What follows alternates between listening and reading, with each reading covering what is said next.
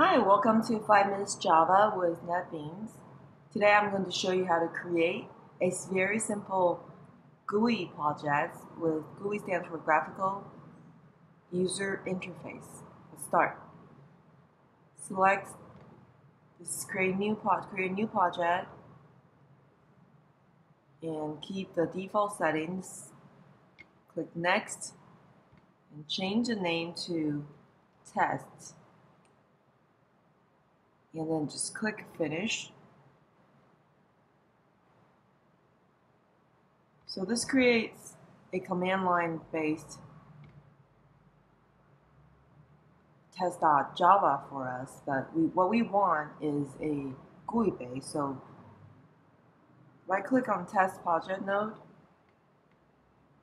and go to new, others, and swing GUI forms select JFrame Forms and just click Next. Give it a name called Test GUI and put it in the test package. Then click Finish.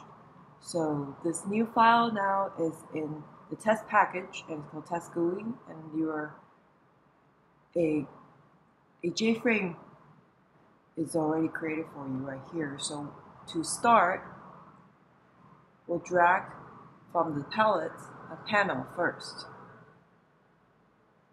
And as you drag in, there will be helper aligning tool for you. So drag in there. Say I wanted to create um, a menu bar. Go to swing menu and drag out a menu bar. And next, Let's try to add. Next, let's add a label. Drag our label one and drag out text field. Drag and release. You can also resize them. Now I want to also drag out another label.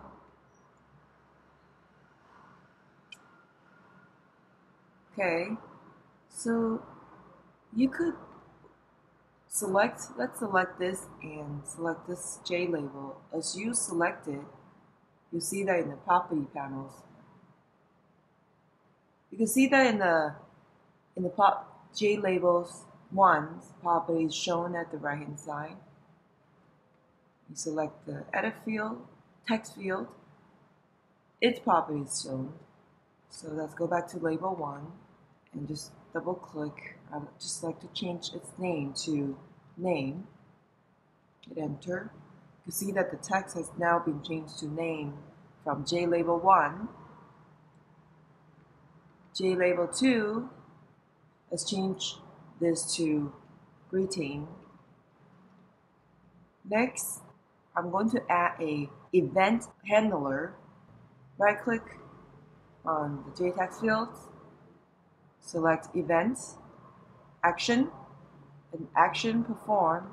So what we are going to do is to add codes in here so when the user type in the name and hit enter, the greeting will be changed to hello and with whatever name that the user entered. To do that, type J text field one dot get text and this whatever returned from getText is whatever the user returned.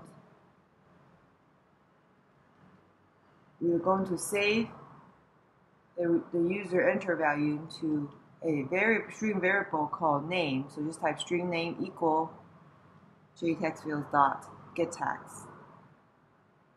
The next, I'm going to print out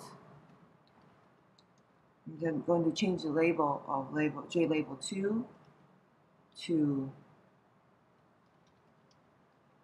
hello and hello and followed by the name that the user entered. Semicolon and then save it. Now let's test our code. To test, we have to select the test GUI.java and right click and do run file. So this is our very simple GUI. You see that it has a file, enter, edit, but it doesn't have any menu item yet because we didn't add any. So here, type in John, then the greeting, the label, this label, J label 2, is changed to hello John. So say hello Jan is changed to hello Jan. This concludes our lessons for today. I'll see you next time.